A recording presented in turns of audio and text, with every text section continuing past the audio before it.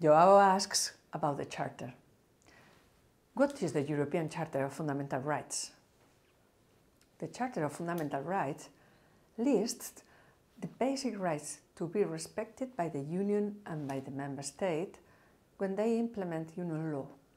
It has been a legally binding instrument since the adoption of the Lisbon Treaty in 2009. The Charter set out rights in terms of dignity, freedoms, equality, solidarity, citizenship and justice. Many of the rights were very innovative, such as the prohibition of discrimination on grounds of disability, age and sexual orientation. The Charter must be dynamic and respond to the needs of an evolving society. Thanks for the question, Joao. It's, it's a, a super general question, but not easy. I mean, what, what is this charter? Uh, it's a legitimate question. Uh, the easy reply is to say it is a human rights catalog, but that then for many people still would not mean much. A human rights catalog is obviously a catalog, a list of human rights entitlements that we have. Some of such rights would be just for citizens, like the right to vote, uh, and other rights you would have whenever you are a human being. So you are born as a human being and you immediately have these entitlements. And you find these catalogs also at national level in your home country. Uh, close to all EU member states have in their constitutions a part, which is normally part two, sometimes part one of the national constitution, that lists these uh, uh, rights and these human rights catalogs normally have a constitutional standing. And what does that mean? That means that whenever there is a piece of law or an administrative decision at national level, it has to be in line with the uh, constitution. So the constitution is sort of a piece of super law that overrules whatever comes below. And, and that makes human rights um, special. So, you know, the right to private life or the freedom of expression, these are human rights and they can only be limited under certain conditions. And that's all um, defined in these human rights catalogs.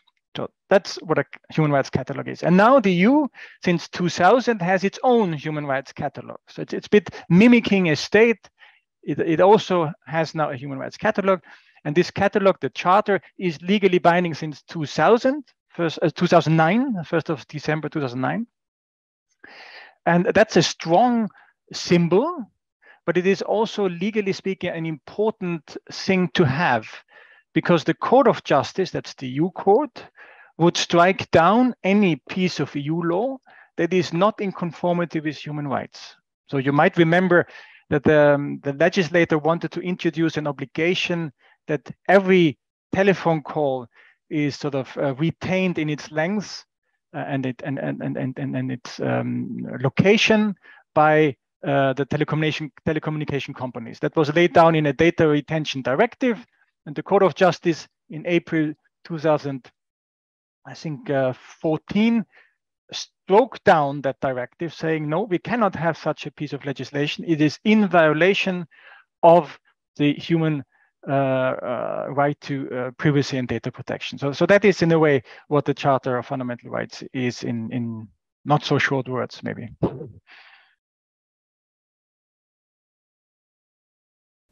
Peter wants to know what distinguishes the Charter from other human rights conventions and from the constitution of individual member states.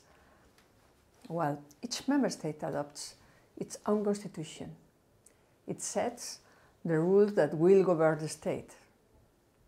The Human Rights Conventions are a series of international treaties and other instruments that have been adopted since 1945 to extend the protection of human rights. The Charter is something else. It is an instrument of the Union, which has emanated from our institutions.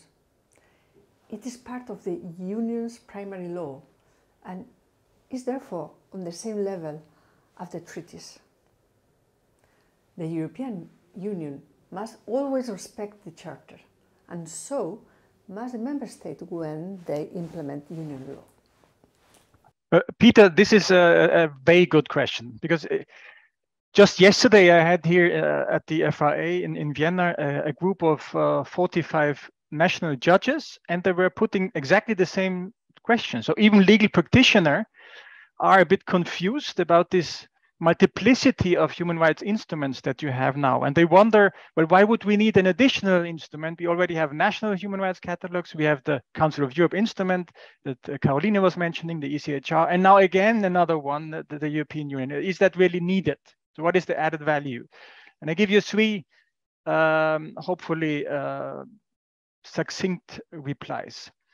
The first one is that the charter contains also those rights that are EU specific. So the EU legal system gives you certain rights that you would not have under the other legal systems. And, and uh, most of them you would know by heart. So for instance, the right to vote and to stand as a candidate for the European Parliament elections. Or also the, the right to participate in the local election. That is a right that, you, that you have as EU citizen, and it is guaranteed by the Charter, but by definition, not by the ECHR, by the Council of Europe, uh, instruments. Then you have, for instance, the right to diplomatic protection. If you tomorrow you travel to Morocco, um, you get robbed, um, you realize that your home country doesn't even have an embassy. So then you have the right as a new citizen to address the, for instance, uh, German embassy to take sort of a, an, an, example of a powerful EU member state. And, and Germany is obliged to protect you as a EU citizen. So that is an EU entitlement that only in the charter would be listed and not in other human rights catalogs. So that's number one.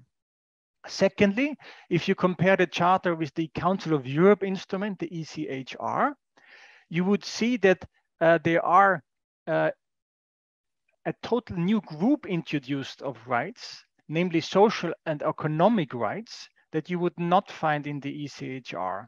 So the right to protection against unfair dismissal, um, uh, the right to health, all these rights you only find in the Charter, but uh, not in the ECHR.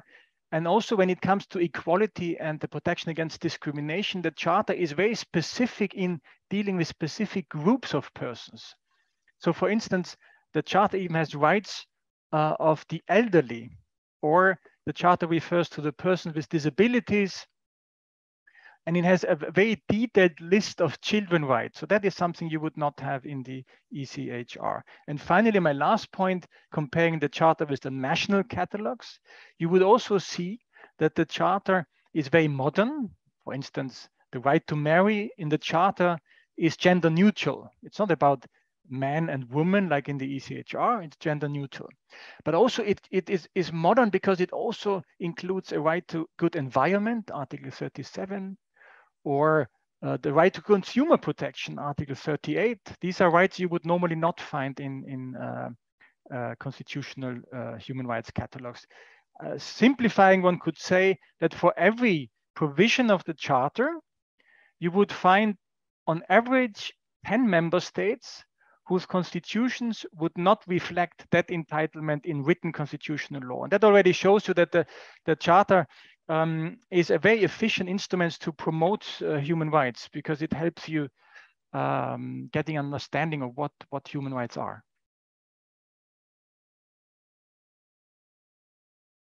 Prince Hayes says that the Charter is perhaps imperfect, but insists on its usefulness for citizens.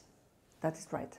The Charter is imperfect, but it offers strong protection that makes European citizens equal.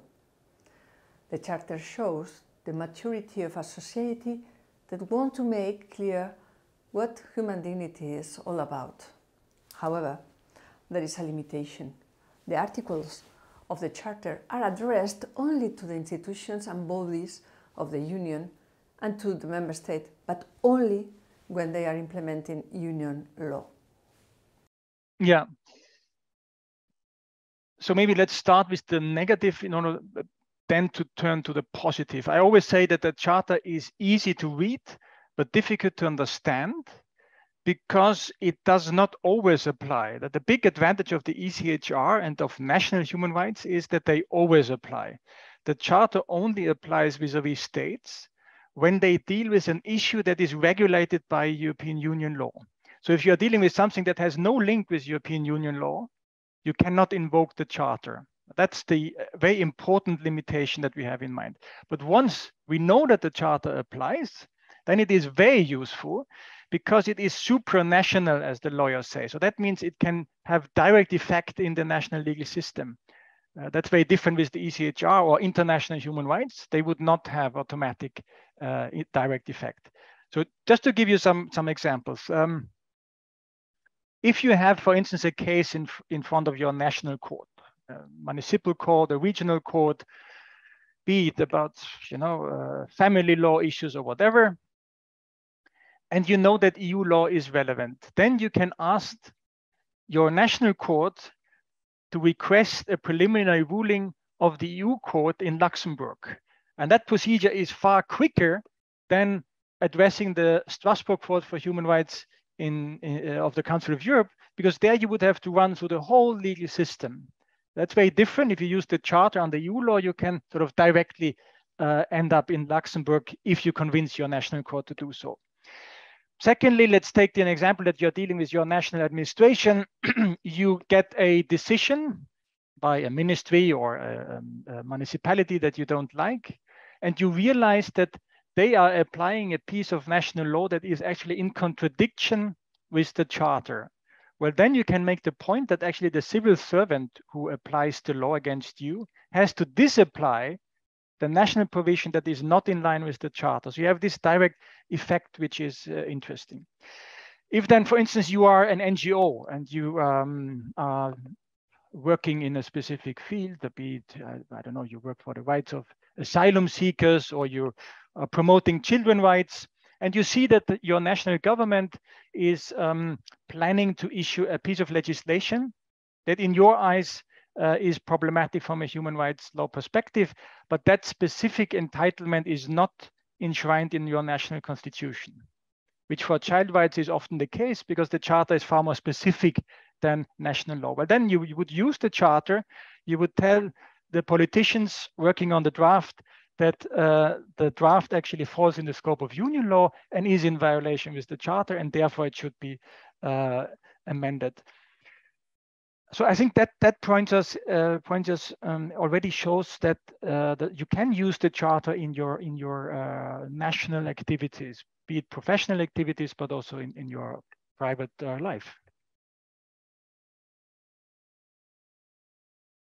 I fully agree with the charter is a dynamic and living instrument.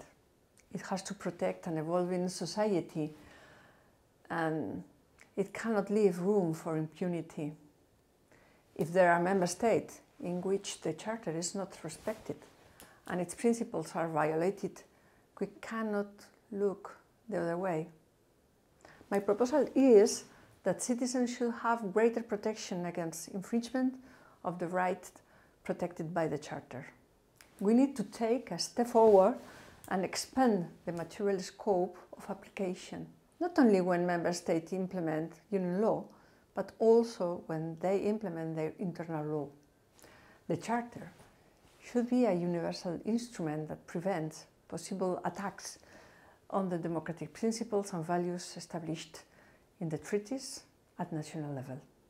Well, thank you, Christina, for that for that question. That's of course a very difficult question. It's also a slightly political question. Um, and I think it's undeniable that there is a sense of frustration of people that um, the EU obviously is not capable of addressing the phenomenon of, of rule of law backsliding, as, as it's often referred to in, in certain member states.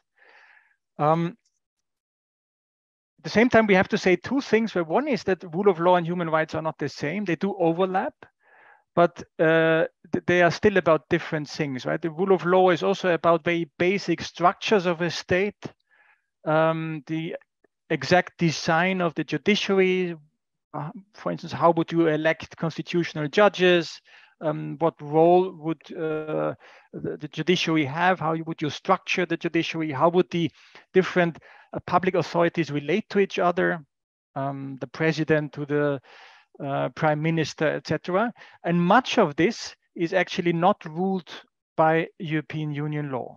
And given that the EU is not a state and is currently also not meant to become a state, the, the means and tools available for the European Union to sort of rule into a member state in order to get it back on track if there are issues with the rule of law are limited. But the trend has been uh, remarkable. So I think the European Union that we see now is completely different from the European Union that we saw in 2012, when sort of the first um, backsliding, rule of law backsliding um, phenomena materialized. Um, we have now things available which we wouldn't even uh, have thought of uh, five or 10 years ago. I'll just give you um, three examples. We have uh, now every year that the European Commission issues a report on every EU member states, analyzing in detail the rule of law situation. And since this year, actually even concluding with recommendations that the member states should implement. And that, of course, creates a very different awareness of the rule of law. Uh, secondly, we have, since rather recently, a so-called rule of law conditionality regulation that allows the European Union to withhold EU funds if it has the impression that a member state is um, not sticking uh, to the rule of law principles. Now, the final decision, of course, is a political one.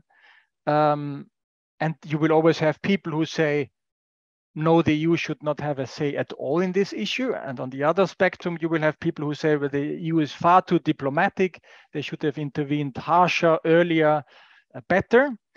But the system nevertheless changed. We have also now in the Council of the European Union, so that's where the ministers sit, uh, an annual dialogue on the performance of countries in the rule of law, an area that 10 years ago was perceived as being totally outside the reach of the EU institutions.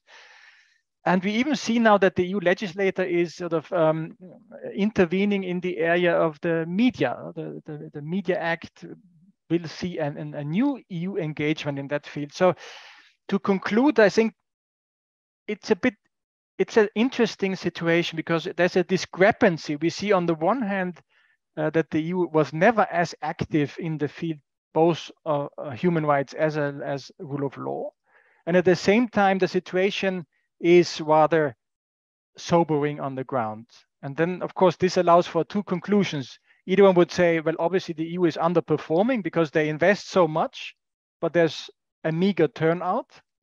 Or we would conclude in saying, well, the times that we are living in are very, very difficult for human rights and the rule of law. And I prefer, as you might understand, the, the second reading because I see that the EU on a day-to-day -day basis is pushing hard to um, perform better and increase the rights of uh, citizens uh, as we are all